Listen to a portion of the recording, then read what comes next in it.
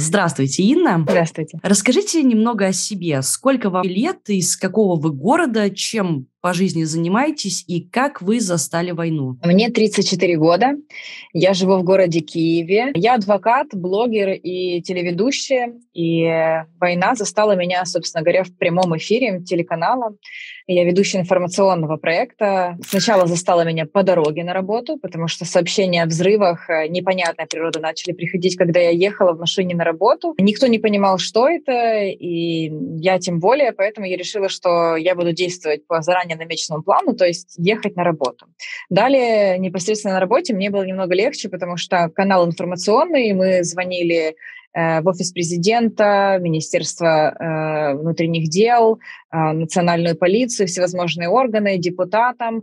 И первыми узнавали, что происходит, какие меры предпринимаются. И вот то ощущение, что я нахожусь в повестке дня, я понимаю, оно помогало мне успокоиться. В это время мой муж, который находился дома с детьми, вырабатывал план, что мы будем делать, когда рабочий день закончится, надо ли бежать из страны, не надо ли бежать.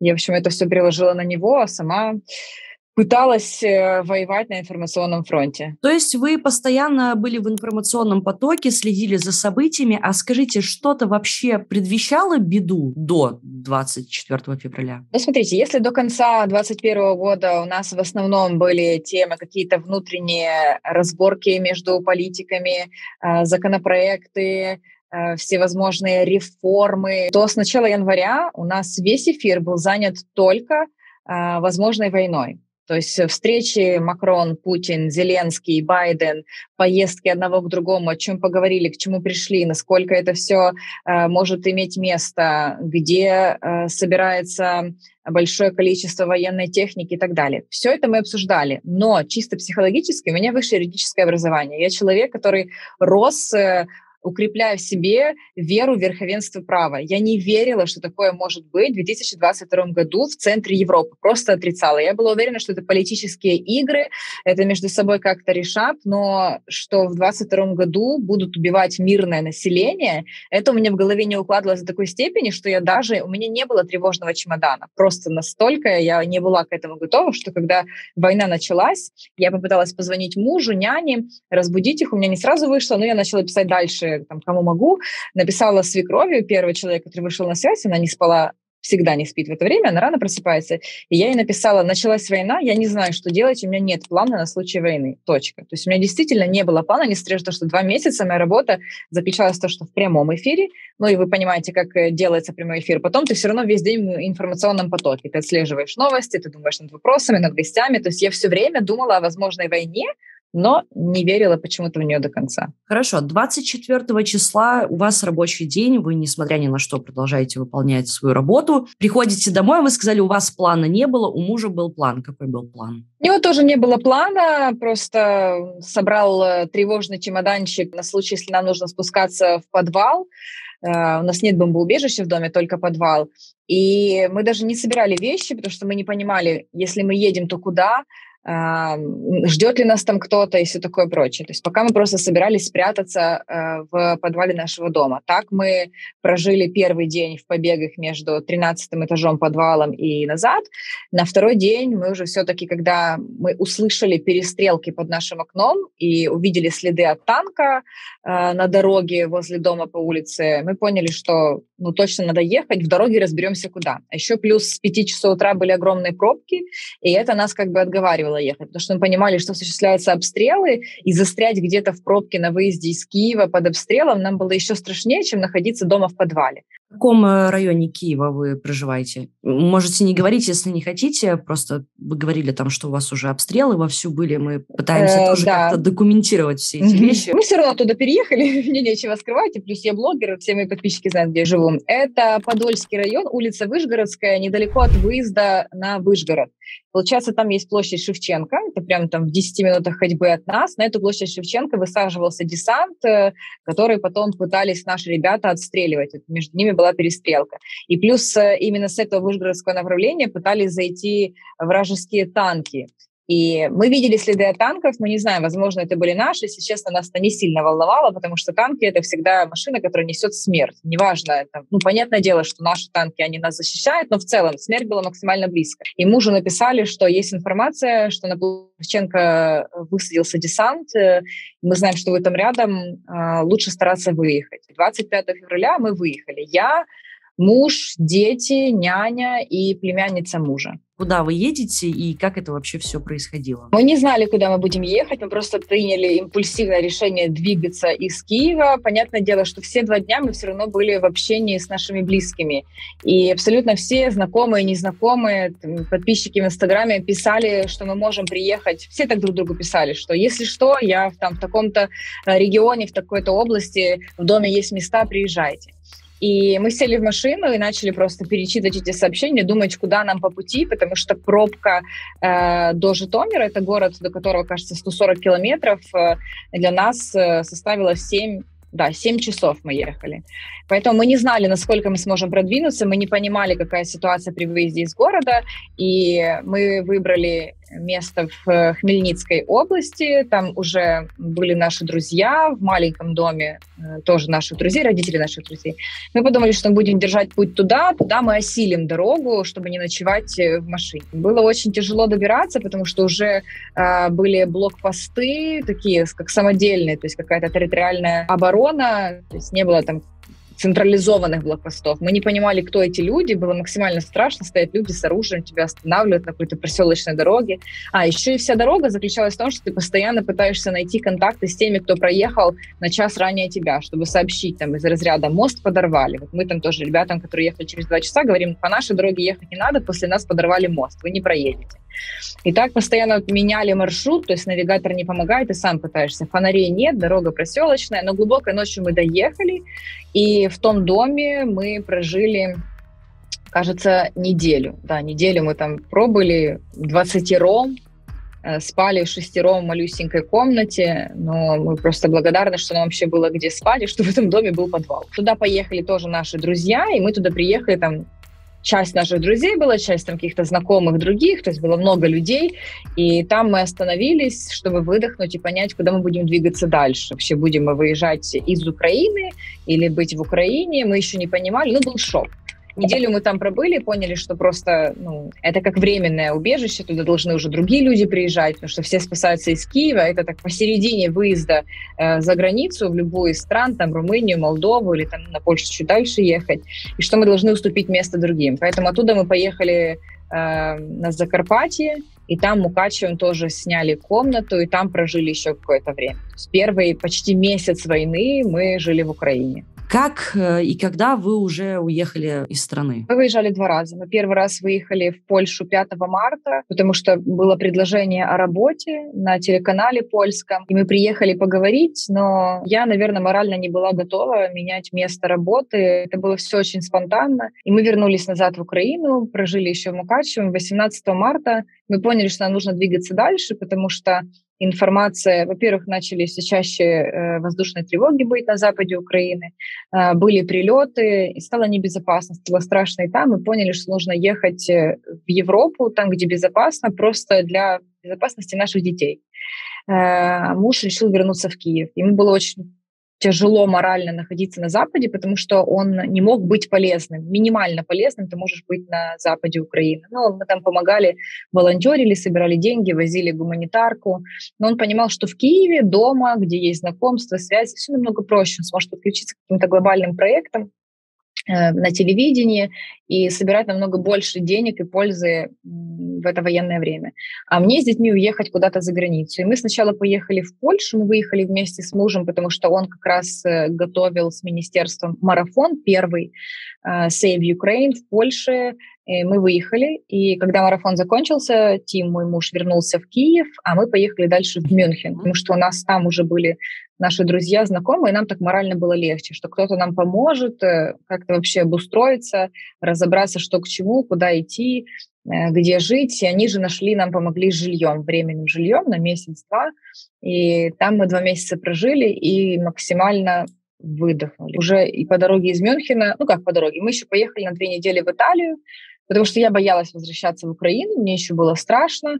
Э, но уже не могла оставаться в Мюнхене, потому что негде было жить. И есть такая программа, она, наверное, уже закрыта, Airbnb давали ваучеры на проживание украинкам, которым негде жить. Я подала заявку, мне утвердили, и я забронировала квартиру в Италии. Мы прожили еще две недели в Италии по этому ваучеру, собираясь с мыслями, что мы будем ехать в Украину. И в середине июня мы вернулись уже а, домой. Почему вы приняли такое решение вернуться? Первая причина, почему я вернулась. Нам негде было жить, и у меня уже не было сил искать. Найти жилье в Европе не так просто, как кажется.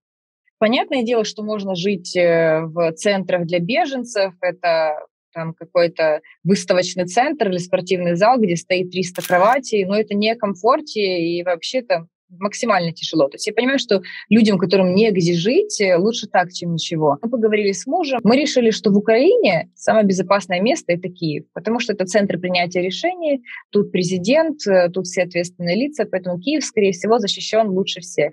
Ну и плюс, знаете, дома и стены лечат. И за границей было тяжело оставаться. И я до последнего колебалась, там, заниматься ли визой, например, в защитой в э, Англии или все-таки вернуться домой. Ну и просто отпустила ситуацию, решила, что мы с мужем принимаем решение вместе, и он говорит, возвращайся домой, тут мы сможем быть больше полезными нашей стране, потому что у нас все занимаются какими-то волонтерскими проектами и помогают.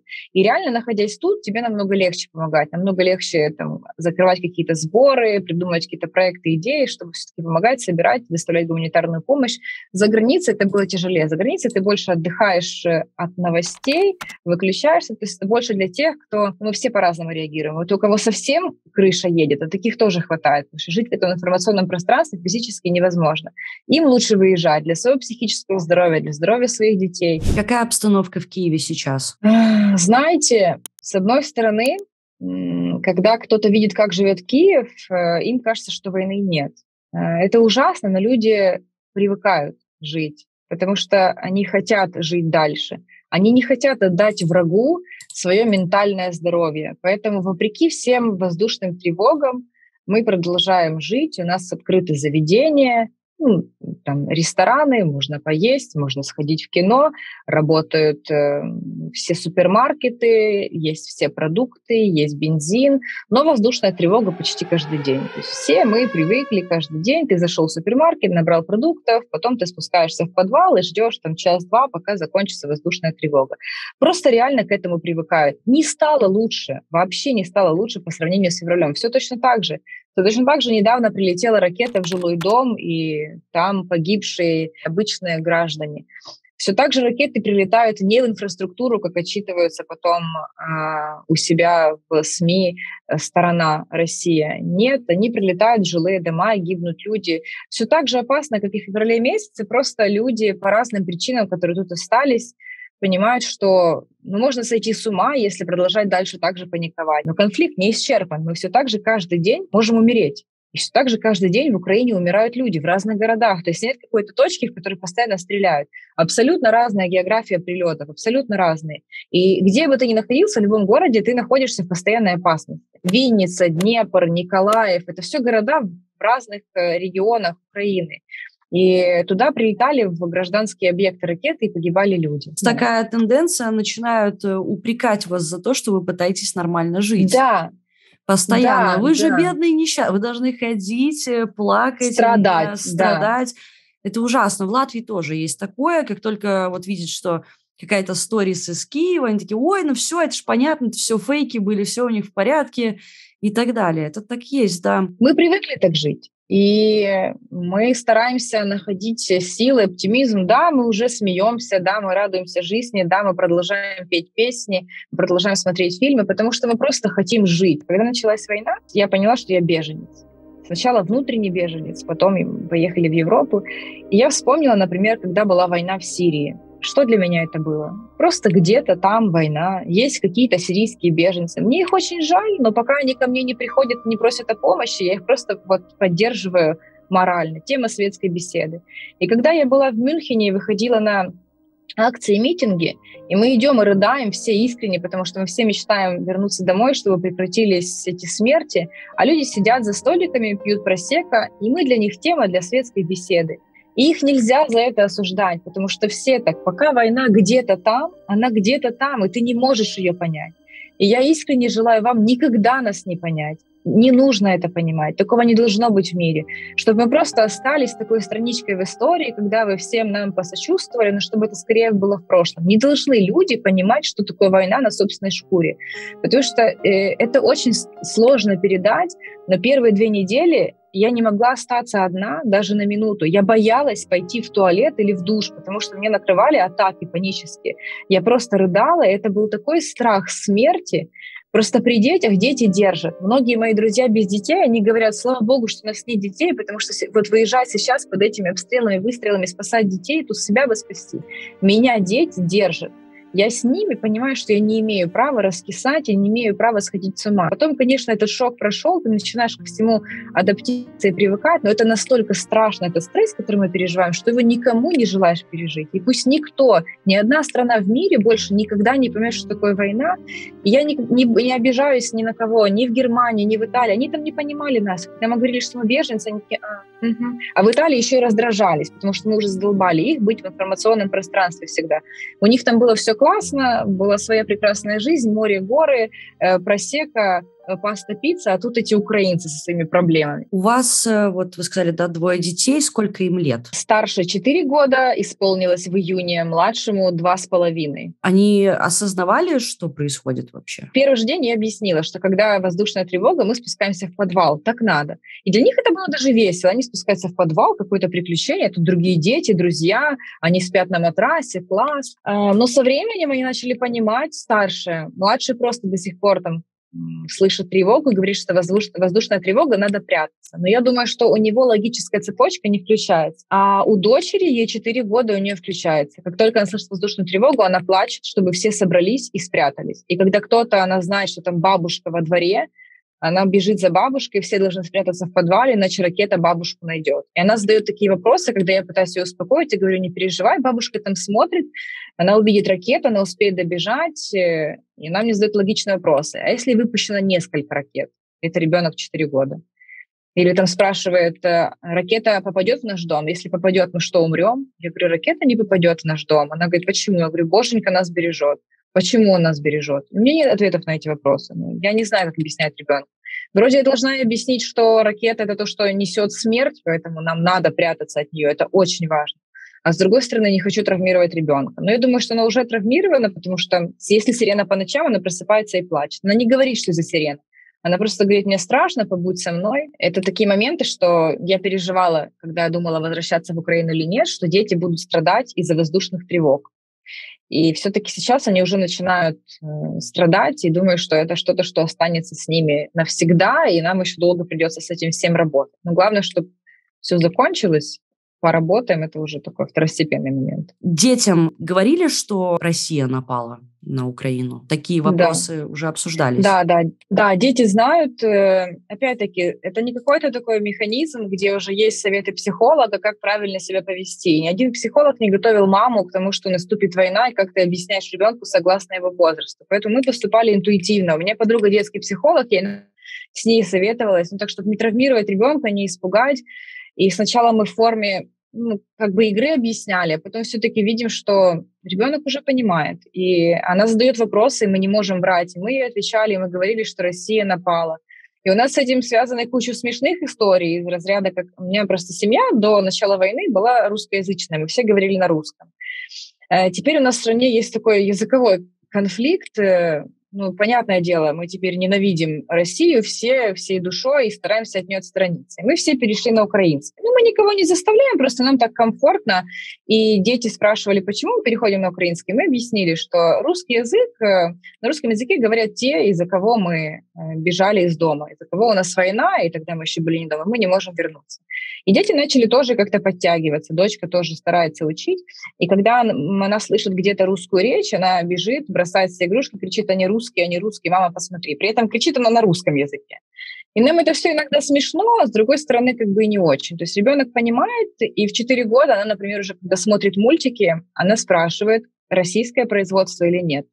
Потому что мы однажды объяснили, что мы не будем смотреть там ряд блогов и мультиков, которые ты любишь, потому что они производятся в стране, э, которая нас атаковала. И дети это понимают. Мне страшно осознавать, что ребенок 4 года это понимает. То есть мне было 34 на момент начала войны, я ничего не понимала. А мой ребенок 4 вынужден это знать.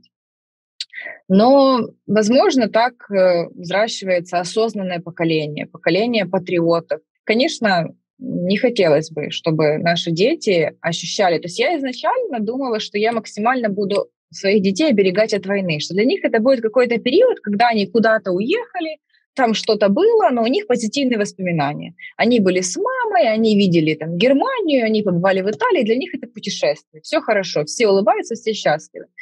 Но в целом нет, они понимают, что такое война, что Россия напала, что это опасно, что русских стоит э, остерегаться – и им, наверное, с этим придется жить всю жизнь. Я хочу задать вам вопрос, но для начала только небольшое предисловие. Я хочу, чтобы вы точно сейчас понимали, что я абсолютно лично, я поддерживаю Украину, я против э, вообще всего того, что происходит, против войны, но э, не кажется ли вам, что это не совсем правильно русский язык, что вот э, это язык агрессора? Мне кажется, что вот когда мы говорим это детям, нужно четко объяснить, что есть э, один Путин, есть какая-то там эта кучка избирателей, которые там в этих селах, поселках, которые его поддерживают. Но не русские виноваты в том, что это происходит. Просто ребенок может неправильно, мне кажется, как-то это спроецировать то есть я-то вашу мысль понимаю. Мы не должны вообще ничего uh-huh. сейчас российского э, производства не употреблять, не смотреть, не слушать, потому что мы хотим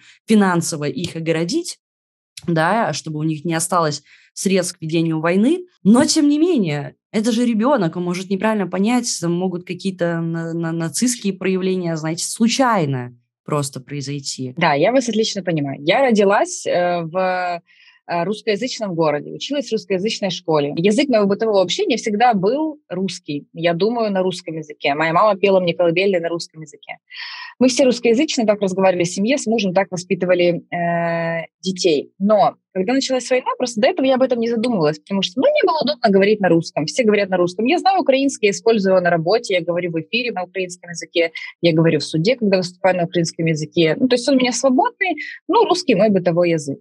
И когда началась война, я тоже столкнулась с тем, что начинают вот прям такие прям националистические высказывания, как ты можешь, ты публичное лицо, переходи на украинский, из-за таких, как ты, война и все такое прочее.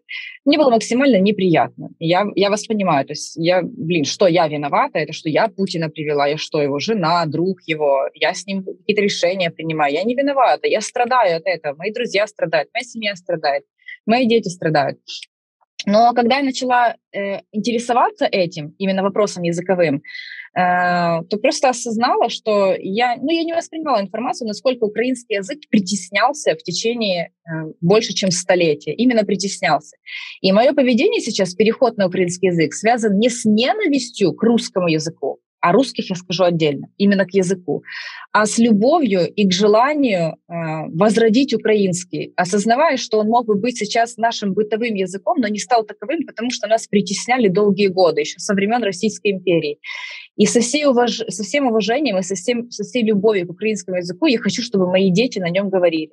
Именно поэтому я перешла дома и говорю везде. Мои дети со мной находятся 24 на 7. И я хочу, чтобы они от меня слышали только украинскую речь классно, если они будут знать русский, украинский, там, английский, немецкий, французский, много языков, но я хочу, чтобы язык их общения был украинский, потому что они украинцы. И так правильно принципе, к русскому языку у меня нет никакого негативного отношения, потому что мне по сей день намного легче говорить на русском языке, чем на украинском. Я до сих пор перехожу, потому что когда ты устаешь, когда э, твой мозг перенасыщен информацией, и ты общаешься с мужем, с детьми или с родными, он отвечает на автомате. А когда я говорю на украинском, я включаю коробочку и начинаю переводить. Это сложно, но я стараюсь для того, чтобы все-таки перейти из уважения к своей стране. По поводу русских, эм, Скорее всего, нас, во-первых, сейчас смотрят русские, этнические русские. У меня откровенная ненависть есть, я это не буду скрывать, к людям, которые имеют до сих пор российский паспорт, потому что они имеют сферу влияния на Россию. К сожалению, мы отсюда видим, что победить нам в этой войне практически невозможно. Посмотрите на карту, на размеры Украины, на размеры России. Представьте, сколько людей живет, посмотрите демографическую ситуацию, сколько мужчин в Украине, сколько мужчин в России. То есть объективно победить Украине Россию практически невозможно. Это должна быть какая-то суперсила. И в нашем видении эта суперсила — это российский народ, который может встать и сказать, ты что, придурок, остановись, хватит. 50 тысяч российских солдат погибли за эти пять месяцев. Это 50 тысяч мужей, сыновей, братьев, друзей. Это только официальная статистика. Их же может быть намного больше. И это нужно остановить. И люди, которые имеют российский паспорт, российское гражданство и право голоса в России, могут выйти и остановить. Но они не хотят по разным причинам. Объясняют, как хотят, даже те, которые поддерживают.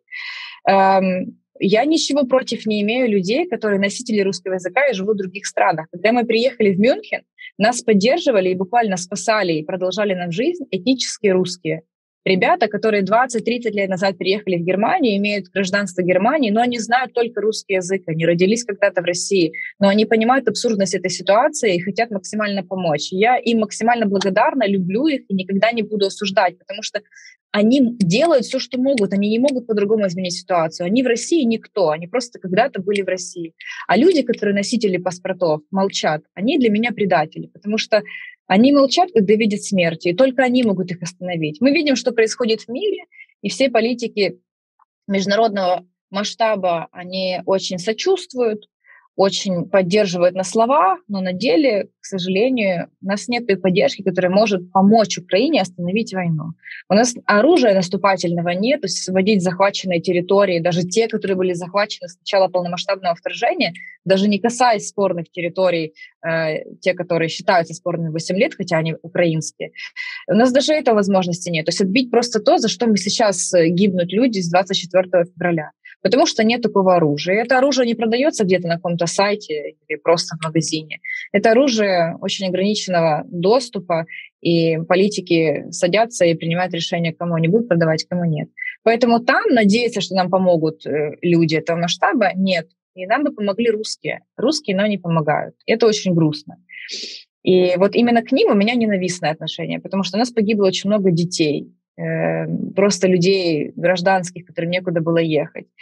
И за это не могут отвечать только те люди, которые э, давали приказ или которые стоят у власти. Этих людей кто-то привел к этой власти. И даже если они пришли незаконным путем, эти люди там сидят у этой власти до сих пор, потому что народ, источник власти в демократическом государстве, молчит. Молчание — это тоже позиция. Молчать — это бездействовать, это тоже выражать свои позиции. Это не хотеть что-то делать. И вот тут бы я хотела просто очертить, что у меня есть ненависть, я не буду этого отрицать, у меня есть нелюбовь к людям, носителям паспорта. К носителям языка я тоже носитель этого языка. И я продолжу говорить на русском языке, там, например, с вами или с другими людьми, которые не знают э, украинского. Не будем же мы переходить на английский, если нам вдвоем комфортно говорить на русском. Русский не виноват. Просто это язык, который использовался для механизмов влияния, изменения, репрессий в Украине на протяжении долгих-долгих лет. И мы сейчас, украинцы, копаем в эту всю историю, как оно все происходило, и понимаем, что реально язык имеет значение, не стоит его ненавидеть, просто стоит отстаивать украинский язык. И точно, если мы говорим на русском языке, то мы должны также свободно говорить на украинском, как минимум. Не обязательно переходить. Но в целом у меня многие друзья продолжают говорить на русском языке. Мы никого не принуждаем, не притесняем, не перестаем с ними общаться.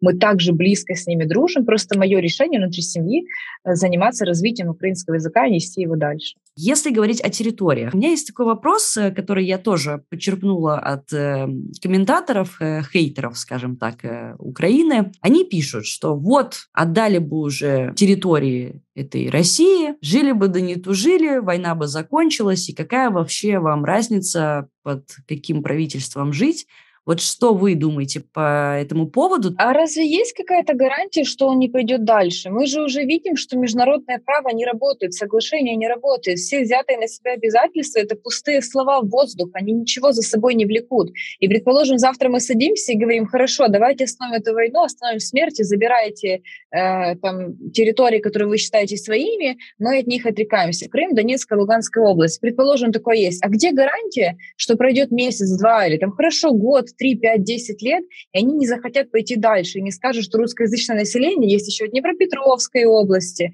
и что там еще Харьков им нравится, Запорожская область, Херсонская область, потому что многие люди говорят на русском языке, и это их же основной сейчас э, посыл, что они защищают русскоязычное население, оно там страдает, его ущемляют, никого никогда не ущемляли, я думаю, это все так понимают, но сам факт, посыл такой пускается для своих.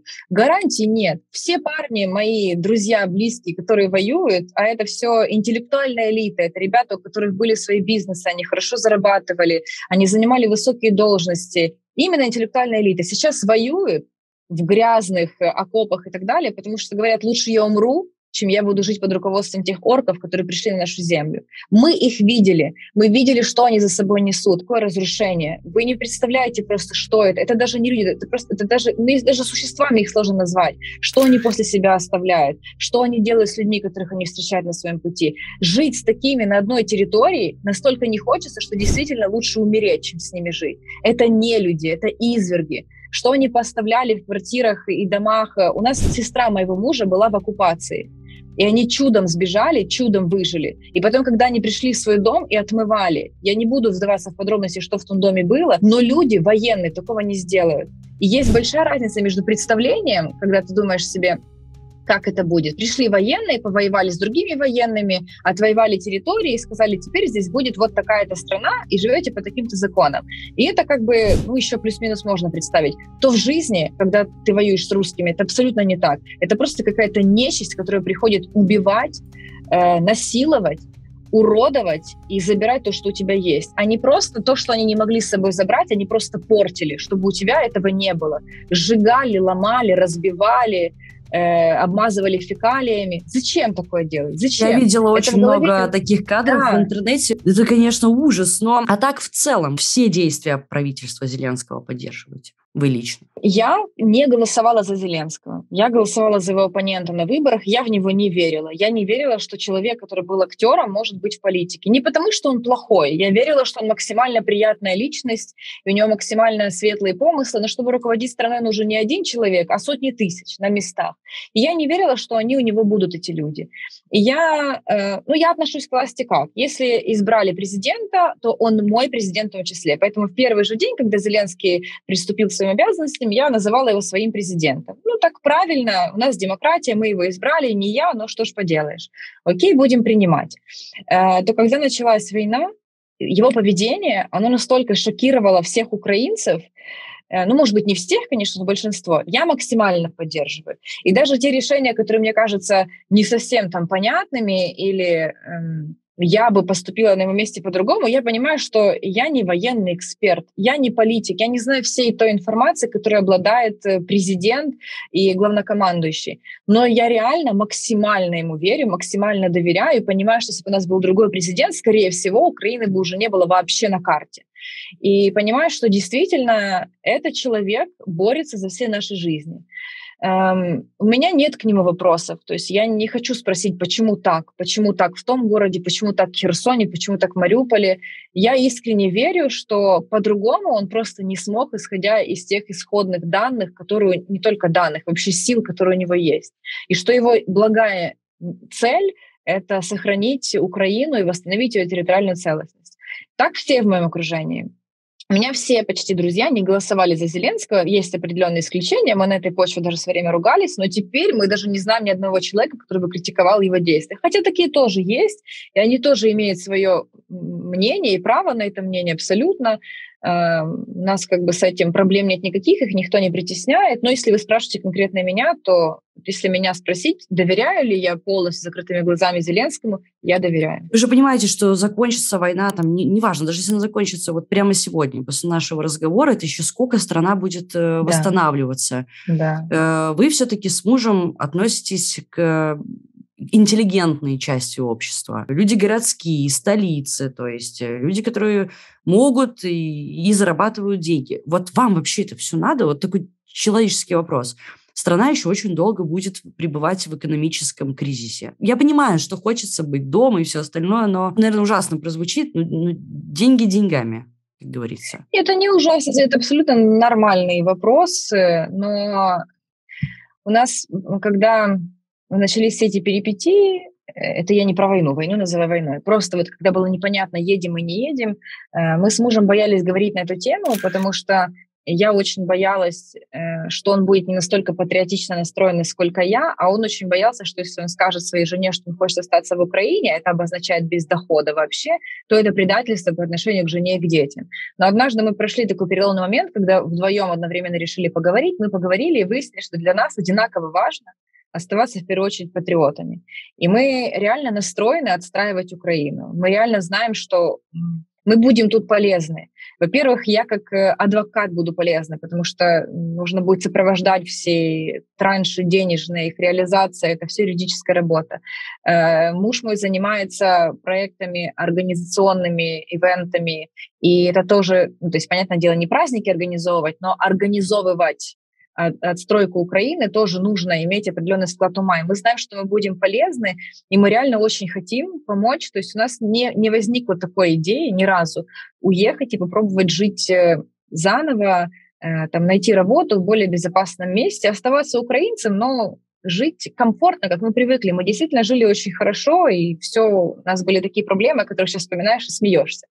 Э, этого нет, и неизвестно, когда будет и будет ли, но желание оставаться тут не потому, что это дом, а потому что это наша страна, и не зря за нее боролись, оно намного сильнее, сильнее чем желание там, 10 раз в год ездить в отпуск, отдыхать на Мальдивах и покупать брендовые вещи. Действительно, вот у нас такая переоценка ценностей произошла почти у всех. Я очень счастлива, что мы с мужем в этом сошлись, потому что если бы мы не сошлись, скорее всего, наш бы брак дал бы большую трещину. Но у нас получилось. Значит, вот будем довольствоваться тем, что есть, но очень радоваться, что мы полезны и помогаем просто восстановить из пепла наш родной дом.